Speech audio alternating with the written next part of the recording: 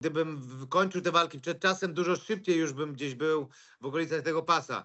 Natomiast tak jak e, walczę do tej pory, no to na pewno ta droga będzie troszkę dłuższa. W realnym e, scenariuszu wydaje mi się jeszcze dwie walki. Gdzieś tak potrzebuję, żeby dostać, e, dostać e, tego title shota. No jestem w ścisłej top 5, tam możesz wszystko się rozegrać już teraz. Co za fantastyczna noc. Tu będą padać bomby największego kalibru. Przygotujcie się Państwo na wielkie grzmoty. Cześć, witam Was serdecznie i witam Mateusza Gamrota, były podwójny mistrz e, KSW, teraz zawodnik UFC. Cześć Mateusz. Z szablą rycerską, panie Andrzeju, w poniedziałek od samego rana. Ale co to za szabla? Gdzie ją kupiłeś? I co?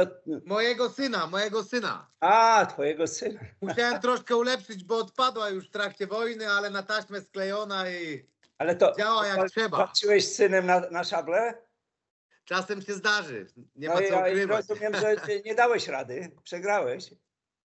Muszę budować młode pokolenie, także co drugą walkę wygrywam i przegrywam. No dobrze, teraz tak. Za nami jubileuszowa gala UFC 300. Gdy rozmawialiśmy kilka dni temu, przed tą galą mówiłeś, że powinna wiele wyjaśnić e, w Twojej sytuacji, e, perspektywy, z kim będziesz walczył. No chyba wyjaśniła, bo pisałeś na Twitterze, że wszystko jasne, że teraz Oliveira, tak? No tak bym celował. Już od jakiegoś czasu staraliśmy się z UFC dojść porozumienia, żeby on, e, żeby on był moim przeciwnikiem. Gdzieś tam wcześniej się to nie składało. No myślę, teraz jest idealny czas. E, Dana White wcześniej mówił, że zwycięzca z tamtej pary, czyli Carukian, Oliveira pójdzie walczyć o, o, o title shota, no a przegrany schodzi w dół tak jakby. Ja aktualnie jestem numer 5, więc wydaje mi się, że w drabinkach idealnie się to składa. Ale jeszcze nikt do Ciebie nie dzwonił, to za wcześnie, tak? Nie, no to jeszcze za wcześnie. Jeszcze myślę, że emocje nie, nie, nie ochłonęły po tej potężnej gali UFC 300. No tak. E, ale, ale myślę, że w, w niedalekiej przyszłości gdzieś tam rozmowy będą, będą toczone. Kiedy mogłoby dojść do tej walki, jak sądzisz? No na pewno Oliveira potrzebuje chwilę czasu na, na odpoczynku, na zebranie się, więc podejrzewam, że druga połowa roku, czyli gdzieś po wakacjach, e, gdzieś nie wiem, wrzesień, październik, listopad, grudzień, myślę, to będą te miesiące, które może się rozgrywać to wszystko. Ja też za niedługo będę wylatywał do Stanów, więc tam zapukam w drzwi troszkę głośniej, więc może czegoś więcej się dowiem. No dobrze. Walka z Oliveirą to jest rozwiązanie, z którego się cieszysz. Ewentualna, no mamy nadzieję, że do niej dojdzie. Czy wolałbyś się zmierzyć e, z Carukianem? To znaczy z Sarukianem już raz walczyłem, raz z nim wygrałem, więc... No tak. E, więc zawsze mieć lepiej świeżego przeciwnika. tak. A no Oliveira jest potężnym nazwiskiem w UFC. No, praktycznie ma najwięcej skończeń w parterze, jest najniebezpieczniejszy e, w tej płaszczyźnie, były mistrz. E, no wielka, wielka, e, wielki, wielki zaszczyt by mnie spotkał, gdybym mógł zawalczyć z tym, z tym przeciwnikiem. No i do tego będę też dążył, prawda? Na tej gali doszło do dwóch walk na szczycie twojej lekkiej kategorii, Oliveira kontra Curukian. No i starcie Getchi Holloway. Obie walki niesamowite.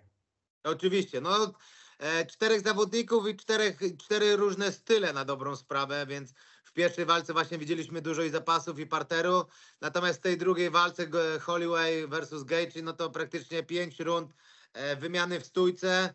E, no Gaethje pokazał niesamowity charakter, gdzie od pierwszej rundy już miał złamany nos i było widać, Tak. że mu mocno przeszkadza, ale dalej się, e, dalej się naparzali. No i niesamowity koncert w ostatnich 7 sekundach, chyba czy 8 sekundach piątej rundy, gdzie poszli na zabójczą wymianę. A wiadomo, jak jest w wymianie, jeden i drugi może paść, trafiło na Gejczego i e, no i padł. No i dzięki temu Max Holloway zgarnął podwójny bonus w wysokości Tak. 600 tysięcy, więc, Tak więc naprawdę ukoronowanie, myślę, jego, jego kariery, no bo on 12 lat chyba walczył w UFC, zawsze dawał wspaniałe walki, więc myślę, że w pełni zasłużone. No to rzeczywiście ten knockout był niesamowity. No jak on poleciał na twarz Gaethje, to po, to po tym prawym sierpowym to było rzeczywiście szokujące. Po tym straszliwym nokaucie Ju, Łukasz Juras Jurkowski krzyczał do oglądających w telewizji rozkoszujcie się magią brutalności MMA. To była chwila rozkoszy? Jak ty to patrzyłeś? No, chwila rozkoszy dla nas, dla sportowców może tak, no bo faktycznie to naprawdę było w, w przepięknych warunkach i na, trzeba dodać temu, że Max Holloway wygrywał, wygrał te pięć rund na kartach punktowskich, a jeszcze postawił z, e, ryzyko na, na szali i poszedł na zabójczą wymianę z gościem, co uwielbia wymiany, więc, więc tutaj było podwójne szaleństwo. Wspaniały knockout. No ja tam się rozkoszowałem tym i to była gdzieś, nie wiem, chyba 5.30 nad ranem, więc do końca dnia już nie spałem, nie? Już adrenalina tak wysoko, tak. że uh, dziękuję.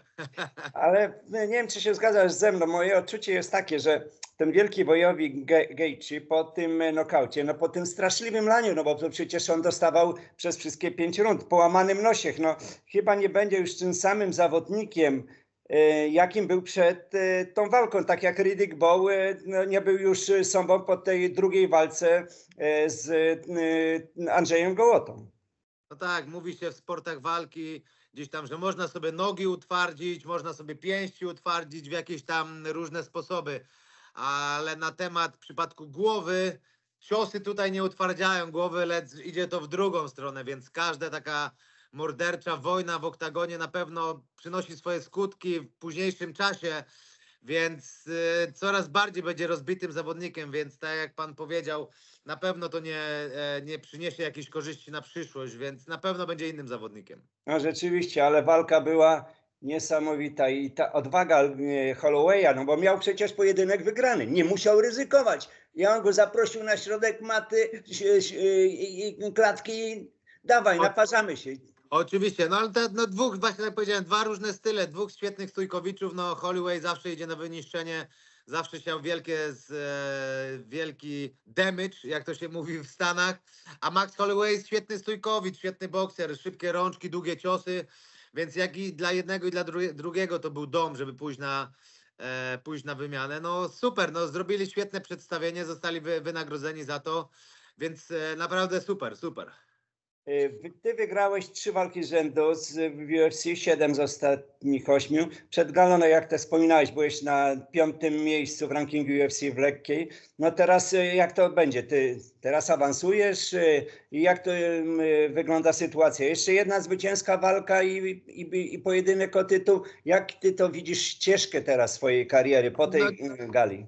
Ciężko jest mi powiedzieć, e, no bo też na pewno styl wygrania walk tak jakby robi, przyspiesza tak jakby dostanie tej walki o tytuł, więc, więc na pewno gdybym kończył te walki przed czasem, dużo szybciej już bym gdzieś był w okolicach tego pasa. Natomiast tak jak e, walczę do tej pory, no to na pewno ta droga będzie troszkę dłuższa. W realnym e, scenariuszu wydaje mi się jeszcze dwie walki. Gdzieś tak potrzebuję, żeby dostać, e, dostać e, tego title shota. No jestem w ścisłej top 5. Tam możesz wszystko się rozegrać już teraz. E, na tej, na, na konferencji prasowej po UFC 300 Dana White ogłosił, że Dustin Poirier walczy z Islamem e, 1 czerwca. Ja już telefon z, z American Top Team dostałem e, i tak jak się śmiałem tutaj z moją żoną, że w zeszłym roku w Abu Dhabi zrobiłem przy, przykładową wagę do limitu mistrzowskiego. Teraz polecę pomóc Dustinowi w przygotowaniach już do walki mistrzowskiej, więc ten kroczek do kroczka jestem coraz bliżej, tak jakby, e, żeby sam gdzieś stanąć do, do tej walki. Więc cały czas się kręcę e, dookoła tego, ale jestem cierpliwy, jestem młody, jestem wciąż głodny, panie Andrzeju. Ciągle mi się chce, każdego dnia wstaję i moje zainteresowanie i ta, i, i, i ta chęć tej walki e, i treningu jest taka sama, więc co ma być, to będzie. Zostawiam to w, los, w, lo, w losach nieba. Ja po prostu trenuję ciężko każdego dnia, wierzę w siebie i, i, i przyjdzie to. Właśnie, e, e, chyba dzisiaj się e, zaraz wybierasz też e, na trening, ale na razie to są, rozumiem, takie treningi chyba dosyć lekkie. Kiedy się zaczyna, zacznie jakaś charówka? Panie Andrzeju, nie ma czegoś takiego jak lekkie ma? treningi. liczy się każdy dzień, każda minuta, każda godzina się liczy, żeby nas przybliżała do naszego celu. Więc trenuję mądrzej. Oczywiście, że nie jadę na salę i nie robię sparingu właśnie jak Gaethje z Hollowayem, ale, ale, ale na przykład e, nadrabiam rzeczy, w których jestem słabszy, szlifuję rzeczy, które mam dobre, pomagam innym zawodnikom, którzy się przygotowują, więc ja cały czas jestem w obiegu. Tre, trenuję raz dziennie, ale mocno. E, Do tego dochodzi sobota i do tego dochodzi jeden albo dwa dni, gdzie robię dwie jednostki treningowe, więc cały czas jestem w rytmie treningowym. Tak jak powiedziałem, E, 1 czerwca jest walka mistrzowska, mistrzowska w mojej kategorii. Muszę być gotowy, bo nie wiadomo, co los przyniesie. Nie daj Boże, ktoś oczywiście dostanie kontuzji, no to nagle mogą zadzwonić, więc wtedy Gamrot, you are ready, I am ready, więc, więc lecę do Stanów, więc, więc cały czas muszę być w rytmie. A na szczęście nic mnie nie boli, nie ma żadnej kontuzji, zapobiegam, dobrze się prowadzę, więc, więc cisnę to. No dobrze, dobrze. Oliveira zapytany y, przez Patryka Prokulskiego y, w wywiadzie dla TVP Sport. y, pyta, o, zapytany o ciebie, y, odpowiedział krótko. Bardzo dobry grappler. No, bardzo mi miło. Bardzo mi miło. No myślę, że zawodnicy ze Stanów i z Brazylii cenią mnie bardzo. E, miałem bardzo duży kontakt, tak jakby z nimi móc trenując. W American Top Team dużo trenuje Brazylijczyków, a jak wiemy, na pewno oni się porozumiewają między sobą, nawet ci, którzy są w Brazylii. Więc opinia na pewno już poszła tam o moich umiejętnościach i mo, o moim e, parterze. Więc bardzo mnie to ceni. No, myślę, samo dojście do tej pozycji top 5 e, w najbardziej obsadzonej kategorii w UFC to już jest sam wynik bardzo duży i to samo mówi za siebie, że tam nie ma osób z przypadku. Jasne. Ewentualny twój rywal Oliveira ma konia Ocelotti, to jego hobby. Y, Ty masz jakieś takie oryginalne hobby też? Ja Poza tym, psa, że walczysz, walczysz na miecze z synem. Ja mam psa Akite Inu z Japonii, do tego mam miecz troszkę ulepszony 2-0, więc jestem gotowy na te konie brazylijskie. Słuchaj, tak popatrzyłem na listę Twoich sponsorów na Twoich tych stronach. No jest e, długa prawie tak jak trylogia Sienkiewicza. Dużo czasu zajmuje Ci e, wywiązanie się z obowiązków sponsorskich, szukanie nowych sponsorów, czy już wystarczy? Ilu Znaczy, ich? to znaczy, no ona nie jest bardzo długa, tam mam czterech chyba, czy pięciu. Oj, jest, wydawało mi się, że, że dużo więcej. No, niektórzy to są partnerzy po prostu, którzy Aha. mi to dopomagają, ale tak jakby sponsorzy, których ja staram się reklamować i w postaci tego dostaję wynagrodzenie e, pieniężne, to mam czterech. Jest Body Chef, jest Betclick, jest Bushido e, jest Under Armour. Są to sponsorzy, którzy bardzo fajnie nam się zacieśnia współpraca.